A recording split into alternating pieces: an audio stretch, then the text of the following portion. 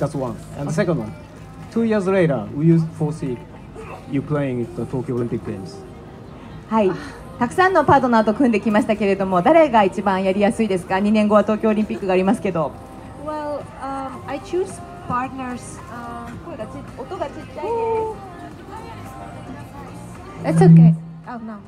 Uh, I choose partners that I feel good also off the court that they are like my friends because I can't play with someone who you don't really understand with each other.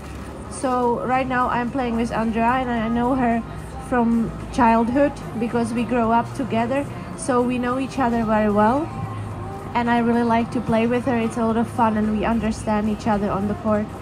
And if I will be playing Olympic Games in Tokyo, well, I'm not so young anymore, but I I try to. I'm not sure. I just look next year and then we will see. But I love Tokyo. I love Japan. I love Japanese people. So uh, I think the Olympic Games would be wonderful. So I will try to.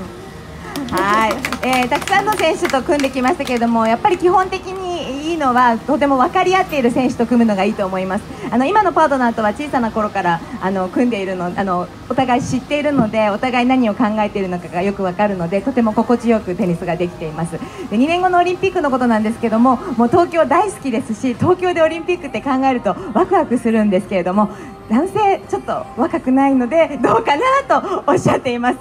でも来年になってあのちょっと考えてみたいと思います。ぜひね東京でプレーできたらいいなと思います。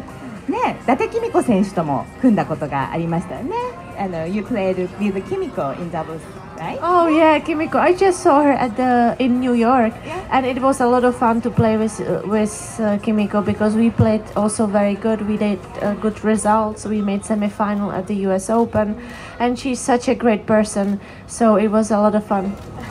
はい、あの 伊達公子選手ともねいろいろいい結果が出してます。これはニューヨークであったんですけれどもあのとてもいい試合が彼女ともできました。とてもいい人なので組みやすいですということですね。さあでは